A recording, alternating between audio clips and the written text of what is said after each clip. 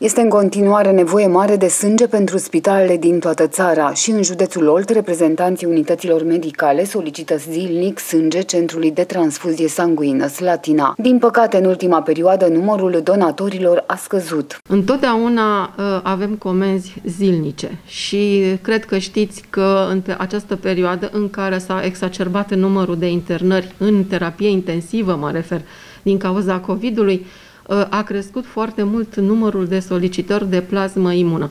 De aceea, în afară de produsul de sânge, care înseamnă punga roșie, ă, spitalele au nevoie de concentrate trombocitare, care se dau în special în bolile hematologice, și ă, plasma imună la uh, persoanele foarte uh, afectate de această infecție în terapie intensivă. Reprezentanții Centrului de Transfuzie Sanguină Slatina spun că până în urmă cu câțiva ani, în apropierea sărbătorilor, creștea numărul celor care donau sânge. Acum însă acest lucru nu se mai întâmplă, iar solicitările spitalelor sunt în creștere de la o zi la alta. Printre cei care au nevoie de sânge ca să trăiască sunt și copiii. Avem în evidență pacienți mici, de vârstă mică, 5-6 anișori, care au nevoie de uh, produse de sânge care au uh, o tehnică specială de prelucrare, se deleucocitează și au nevoie de un anumit fenotip. Avem bolnavi oncologici, avem bolnavi din uh, uh, compartimentul de hematologie care au nevoie de sânge în mod special de concentrate trombocitare. Orice persoană cu vârsta peste 18 ani poate să doneze sânge, pe lângă faptul că salvează o viață își poate monitoriza și starea de sănătate. Insist pe faptul că uh, persoanele care donează din 3 în 3 luni beneficiază de fiecare dată de o baterie de analize care se fac obligatorii,